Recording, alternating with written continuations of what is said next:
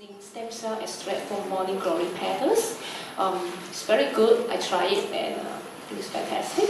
Another range that we have is actually the latte range. It's uh, Tony the most innovative product of the year. Oh, that's cute. Yes. Can I, can I drink that? You can't, sorry. Your skin can try that. Of course, it's Yeah, man. so the one that Junji Sin is holding is actually the um, latte scrub. It comes with a spatula. Like that. Uh. Mr. Song Joong Ki think about the new products? 어, 일단은 커피 향이 너무나 좋고요.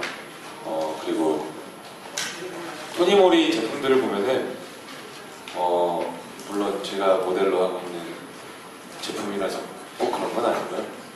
어, 다들 보면 용기들이 너무 귀여워요.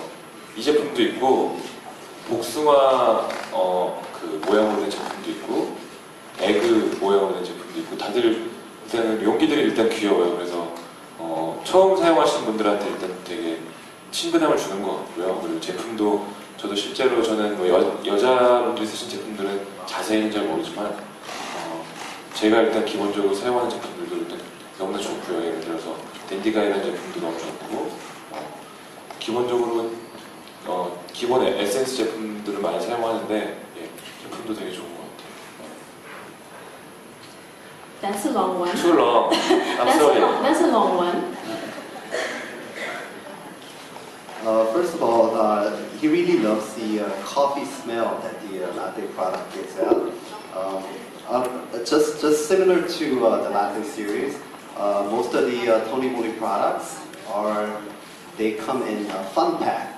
He's not saying this because he's the uh, Tony Moly spokesperson, but he really believes that these are really cute and really fun for even the beginner skincare to use.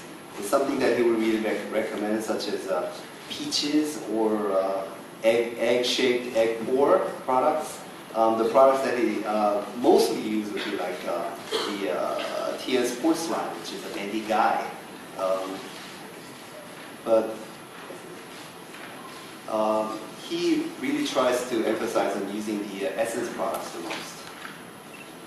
All right, so uh, if you want to look at more of the Tony Moly products, the flagship store is actually at Bugis Junction. So